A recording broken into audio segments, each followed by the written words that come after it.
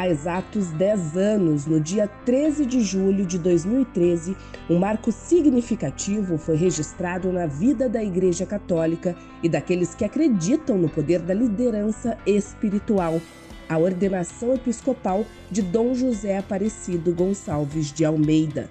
Era o início de uma jornada de serviço dedicado à comunidade e ao rebanho.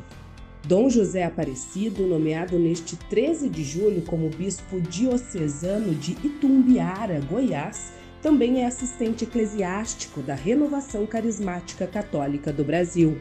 Desde o momento em que recebeu as Sagradas Ordens, demonstrou um compromisso inabalável com os princípios do Evangelho e com a responsabilidade pastoral e sua jornada ao longo desses 10 anos tem sido repleta de realizações notáveis e de um amor incondicional pelo povo.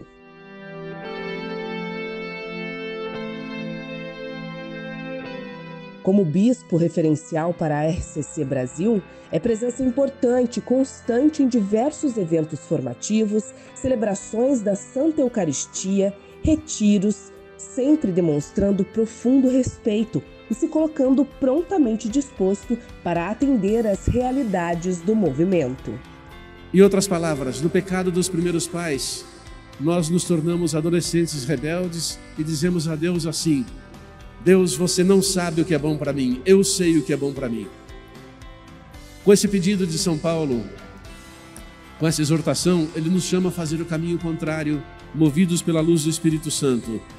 Aprender de Deus aprender qual é a vontade de Deus, a saber o que é bom, o que agrada e o que é perfeito.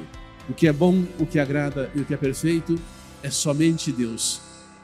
Em cada encontro com os fiéis, ele irradia uma calma reconfortante e uma autenticidade que inspira confiança, sempre com mensagens de esperança, amor e unidade.